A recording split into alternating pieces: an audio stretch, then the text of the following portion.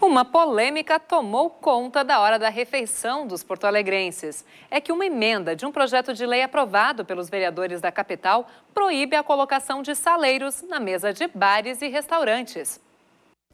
A proposta virou tema de discussão, pois divide opiniões. Ridícula. Quem quer comer, come, quem não quer, não come. É que nem droga. Tu usa se tu quiser. Eu aprovo, totalmente que eu sou bem contra o sal, porque não tem nada de bom, só prejudica, né? A emenda de autoria da vereadora Sofia Cavedon institui que bares e restaurantes só poderão disponibilizar o sal quando o cliente pedir. O objetivo é estimular a população a reduzir o consumo do produto. Não é proibindo as pessoas, porque as pessoas são livres para se alimentar a se alimentarem como querem, mas é atendendo o que diz o Código de Defesa do Consumidor e o que diz o, o Código da, da alimentação, do direito à alimentação saudável do país, que fala que o Estado tem obrigação né, de organizar Uh, políticas que estimulem a alimentação saudável e que desestimulem uh, a ingestão de produtos ou de, de alimentos nocivos, né?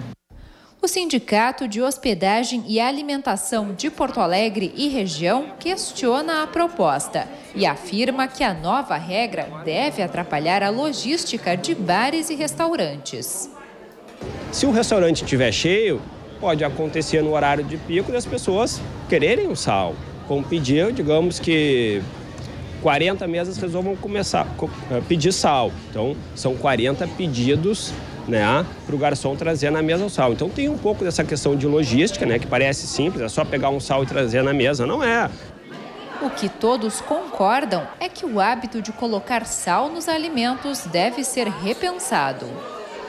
A quantidade de sal recomendada pela Organização Mundial da Saúde é de 4 a 6 gramas por dia, o que corresponde a uma colher de chá ou então até seis pacotinhos como esse daqui.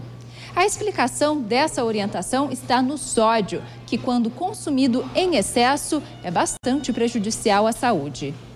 Excesso de sódio, o que vai acontecer? A gente começa a fazer uma retenção de líquido no nosso corpo, o fluxo sanguíneo aumentado, nosso coração tem que trabalhar com maior esforço para bombear e mandar sangue é, filtrado para o nosso corpo. Então, seria um processo bem simples. Excesso de sódio, retém o líquido, aumenta o fluxo sanguíneo, sobrecarga cardíaca e ao longo de um tempo a pressão arterial sobe para acompanhar esta minha demanda. A proibição do sal nas mesas dos estabelecimentos ainda depende de sanção do prefeito José Fortunati. O texto não prevê multa para aqueles que não cumprirem a medida.